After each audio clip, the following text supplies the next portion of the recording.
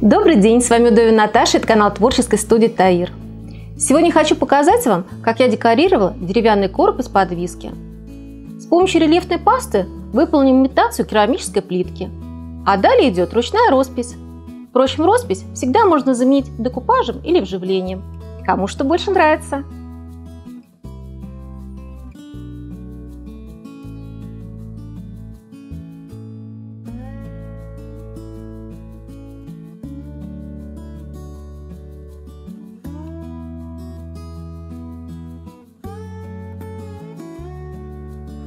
Уже несколько лет у меня хранился такой роскошный подарочный сундук из подвески.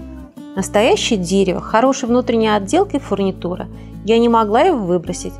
Только верхняя крышка подвела. Там остались выемки с следами клея от ярлыков. Снимаю верхний слой лака наждачной бумагой. Беру грубую рельефную пасту от Таир и с помощью широкого шпателя заделываю выемки. Разумеется, можно использовать шпатлевку – просто у меня ее нет под рукой. После высыхания ошкуриваю пасту наждачной бумагой, добиваясь гладкой ровной поверхности. Если материал просил, обязательно наносим еще один слой. Сушим и снова шкурим. Я нашла три одинаковых квадратика с МДФ. Загрунтовала и ошкурила их с одной стороны. Делаю разметку. Выравниваю квадратики по центру крышки с одинаковым промежутком между ними, а затем приклеиваю. Если нет подобных заготовок, можно сделать такую ступеньку подложку также из рельефной пасты. Или раскатать и вырезать квадратики из сам застывающей полимерной глины. Затем наношу плотный слой рельефной пасты. Тут важно, чтобы на всех трех ступеньках он вышел одинаковым по высоте.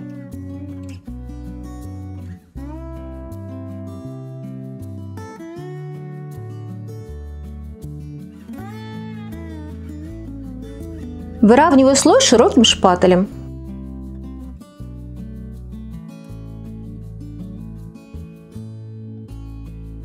Удаляю излишки пасты.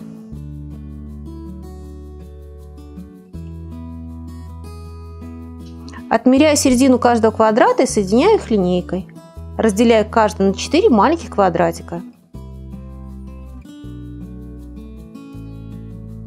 Стараюсь, чтобы канавка была достаточно толстой, это выглядит более натурально, как с настоящими плитками.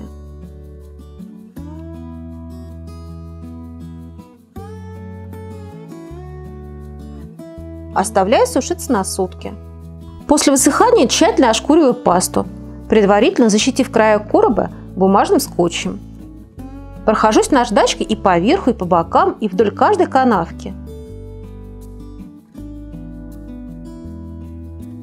Дополнительно шлифую еще мелкозернистой наждачной бумагой.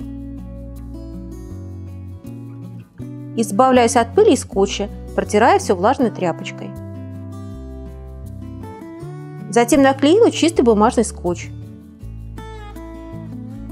Дополнительно выбеляю плиточки белым акрилом. Для тех, кто больше любит декупаж, покажу очаровательную карту Джеронима с разными видами плиток – если карта в интернет-магазине есть в наличии, то ссылки обязательно оставлю в описании. Но под такие карты нужно было делать сами плиточки чуть-чуть поменьше. У них размер 3,5 см. А я под роспись специально делала покрупнее. У меня получилось 5 см. Чтобы не ломать голову на цветовой палитре и гармоничным сочетанием, я взяла готовый набор краски Акрил Делюкс. Недавно у Таира вышла целая серия таких наборов – очень советую, если у вас тоже разбегаются глаза, когда надо выбрать ограниченную гамму. В дополнение к нему я возьму белый, им я уже красила плитки, и жженую умбру для обводки. Я нашла в интернете вот такие узорчики. Перевела их, закрасив обратную сторону карандашом. Дальше начинаю раскрашивать узоры. Работаю в три этапа.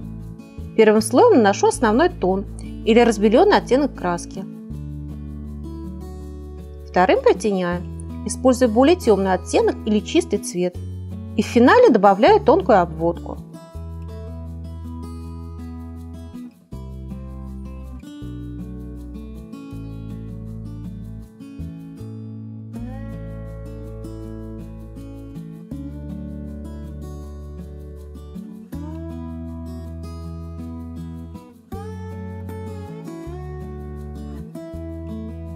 Я выбрала именно роспись. Мне нравится ее рукотворность, сохраняющая теплоту каждого мазка.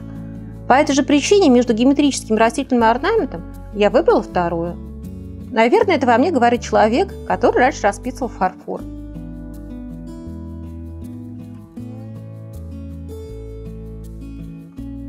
Для основной заливки я использую круглый колонок двойку, а для прорисовки синтетическую круглую нулевку.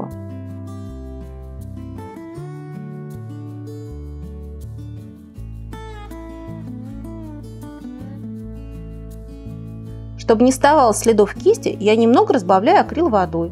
Конечно, это сказывается на укрывистости, но легкая полупрозрачность и неоднородность даже на руку в этом узоре.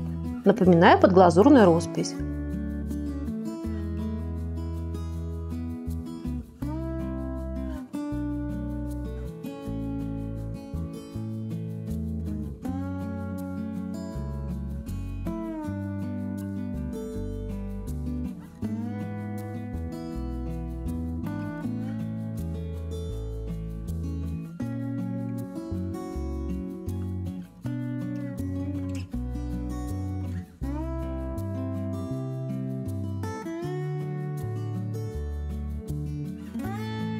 Все неровности окраса на финальном этапе уйдут и скроются под обводку. Это моя любимая часть работы.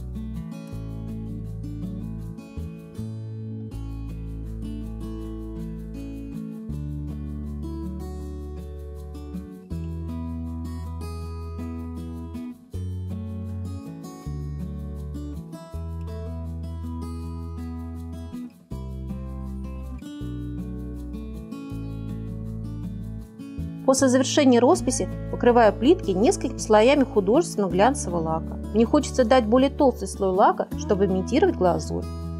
Последним слоем наношу универсальный лак, чтобы убрать подлипание. Можно использовать только универсальный лак, но тогда придется наносить большее количество слоев, потому что он более жидкий.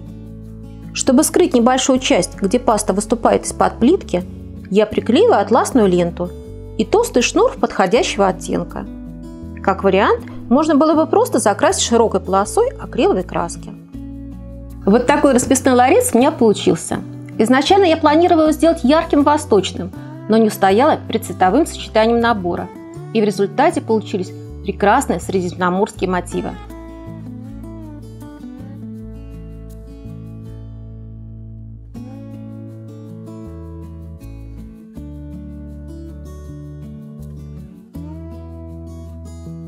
Спасибо за просмотр. Ставьте лайк, если вам понравилось.